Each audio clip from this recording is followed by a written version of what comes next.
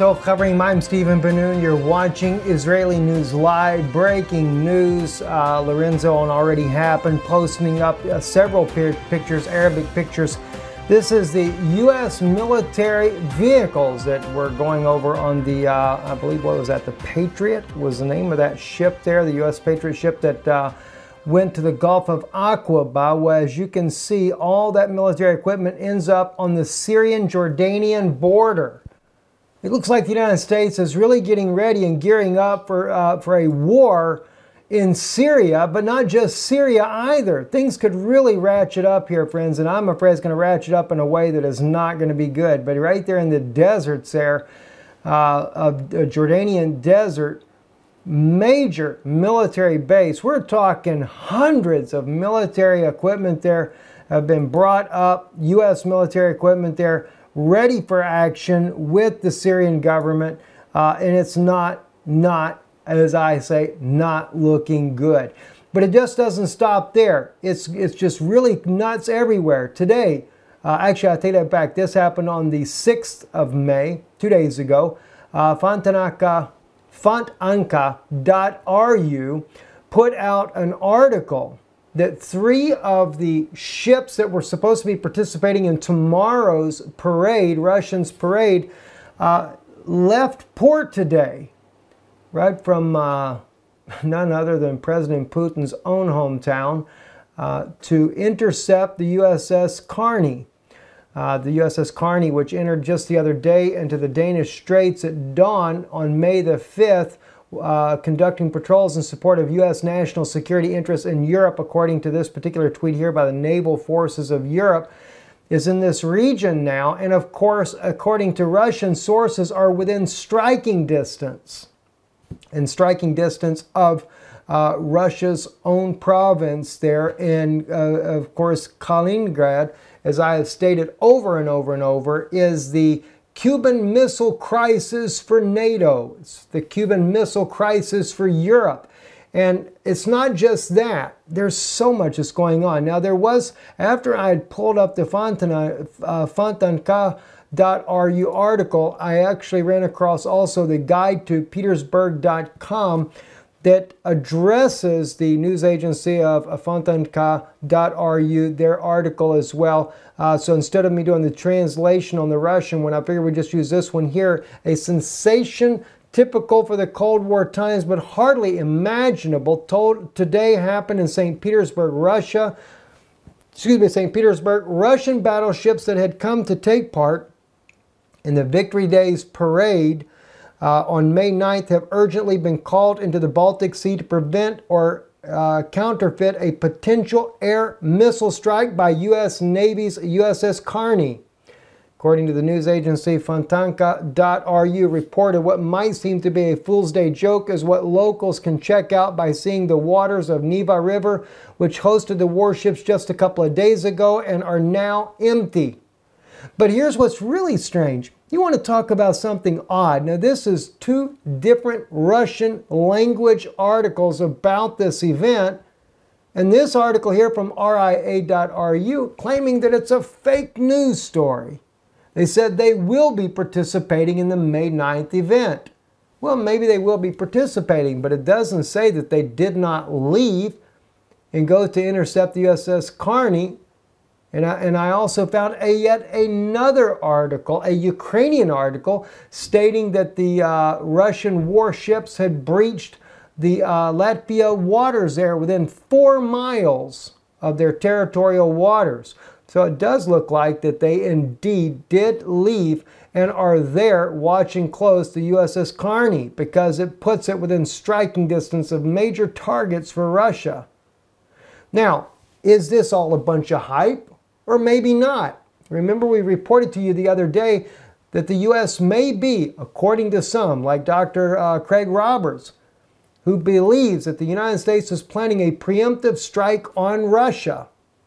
And some of his, uh, his thinking, along with one of the Russian generals, uh, claims that the fact that the United States has moved in its own uh, air defense missile systems in Europe and even that in uh, North Korea, as we can see the THAAD system. And by the way, Sputnik reporting today, United States Forces, Korea Colonel Rob Manning said that the THAAD system is now fully operational and ready to take on any uh, attack that North Korea might send towards Seoul, South Korea. Interesting, isn't it? That THAAD high altitude system is also meant to be able to knock out Russian nuclear ICBMs that could be headed back towards mainland USA or even Japan. In fact, the Russian and Chinese say that that is too, too big of a gun to be having there inside of uh, South Korea when they say North Korea's missiles, they could never get high enough for the system to even operate properly with. I think it has a lot to do with the S-300 and S-400 system that Russia has over inside of Syria. And when the United States was using the Tomahawk cruise missiles, it seemed that, what, 26 of those missiles reached their target and some 30 plus missiles never made it? Could it have been that the S-300, S-400 system did engage, which never made media anywhere that I am aware of, but yet failed to do the job that Russia really hoped to, that they would do? So now Russia has the Buk M3 missile defense system down on North Korea's northern border there with Russia. And the Chinese have the advanced S-300 system that Russia designed as well on North Korea's northern border. And they are both there aimed at the U.S. if they were to fire any missiles towards North Korea. Very interesting how things are going. And then Prime, excuse me, Foreign Minister Lavrov makes a statement here this is reported on stalkerzone.org, that NATO's plan to absorb Ukraine failed. They quote him. NATO officials are offended because their project of full absorption of Ukraine into a zone of influence and inclusion of the Ukraine and North Atlantic Alliance and the inclusion of Crimea in the plans of the military encirclement of Russian Federation failed. It didn't fail.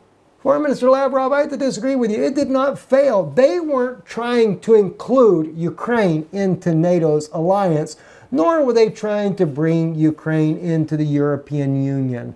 They were wanting to topple Ukraine for one reason, and that was to demonize Russia, put their air defense systems there. Because why?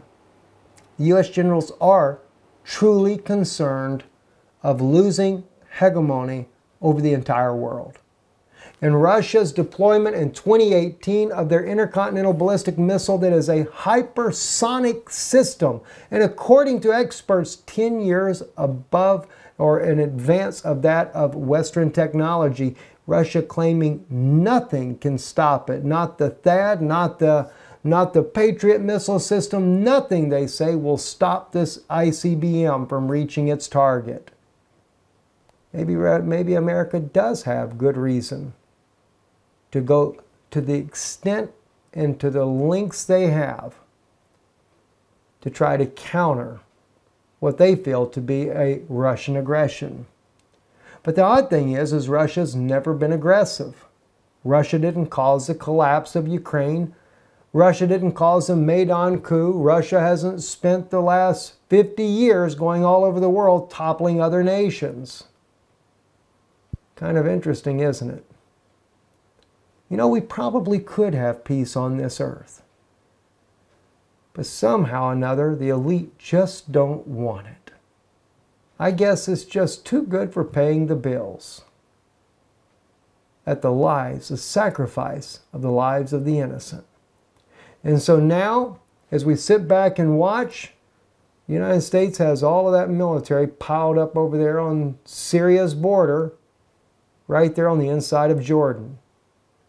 Some of you guys just thought we was blowing smoke up people's skirt, thinking this was just a joke. It's not a joke.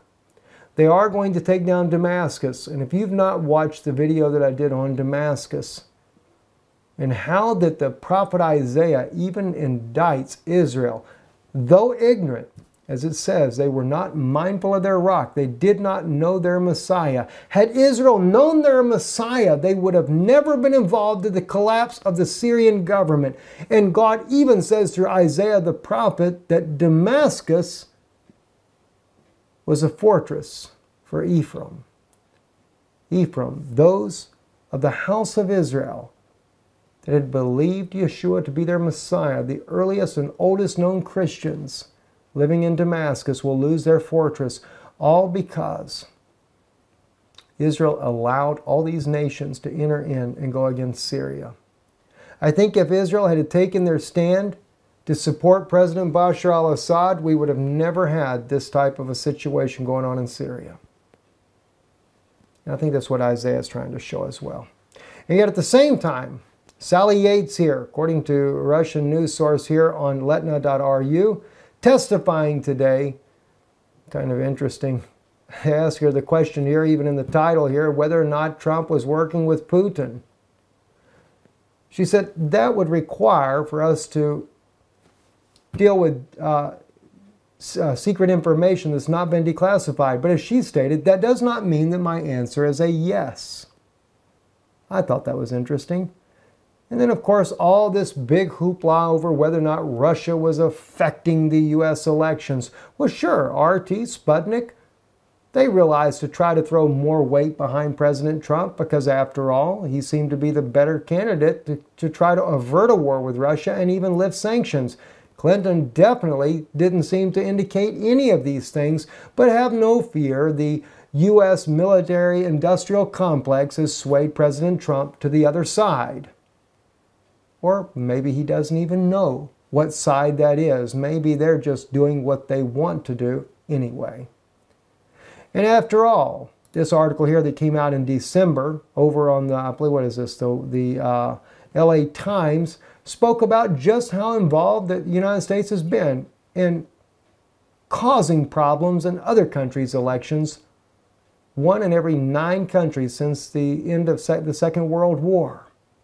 They name them off, one after another. Nicaragua, uh, you know, Czechoslovakia, uh, and the list goes on and on and on and on. Even Israel. They don't even mention this one in this article. It only goes to the year 2000 in this article here, but even in Israel. They say that Obama sent the whole team of delegation down there to overturn uh, President, excuse me, Prime Minister Putin from being reelected. But you know, you never know. Maybe they went down there to make sure he did get reelected. Nonetheless, the U.S. was very openly involved in the influence of the Israeli elections under President Barack Hussein Obama. And then they have the nerve to even say anything against Russia. You know, I can understand if Russia had hacked the U.S. voting machines and caused something like that to happen. No, I could understand the major concern at that point there. But if Russia just throws some of their own political uh, or their, what would you call it, their, their, um, their own news commentations to, to, sway the American public towards another uh, candidate, what's wrong with that?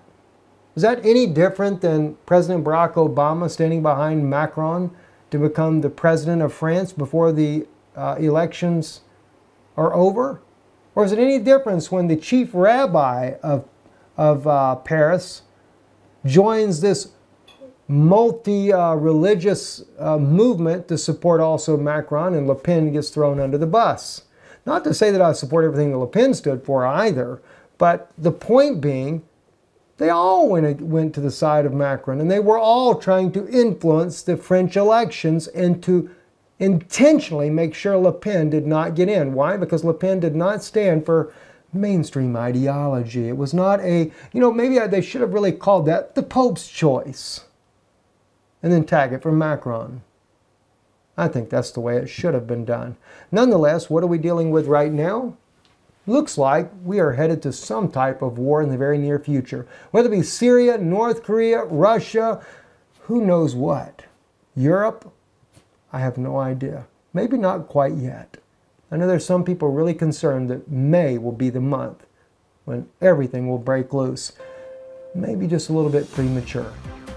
But there's one thing's for sure, it's not far off. I'm Stephen Benoon, you're watching Israeli News Live. Erev Tov.